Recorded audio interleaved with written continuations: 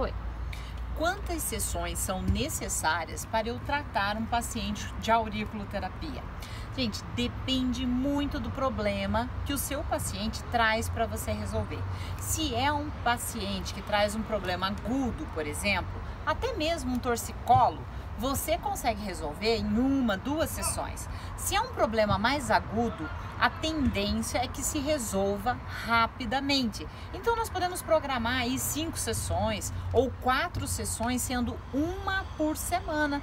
E aí você conversa com ele para fazer um mês de tratamento e vocês fazem uma reavaliação do caso. Então faz uma primeira consulta com uma anamnese perfeita, bem detalhada, veja exatamente que pontos você vai precisar colocar, o que você vai é, dar de dicas extras para o seu paciente para ele obter o resultado.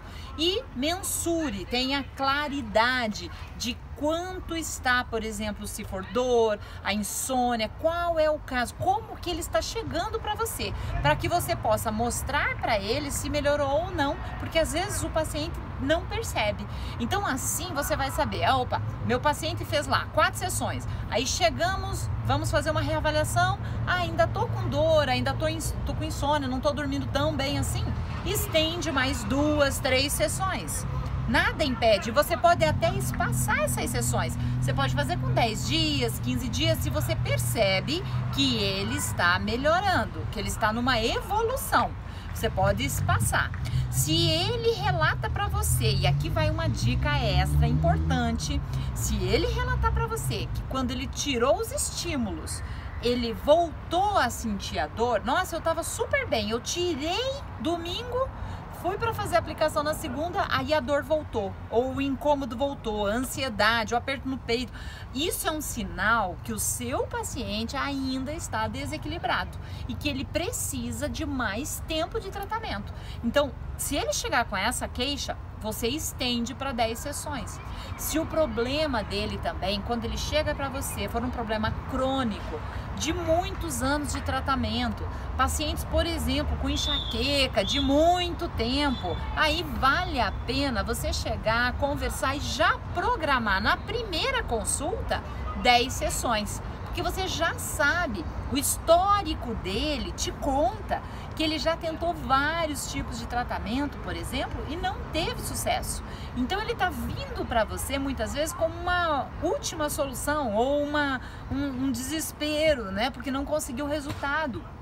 Aí você já programa 10 sessões e pensando nas últimas de vocês passando.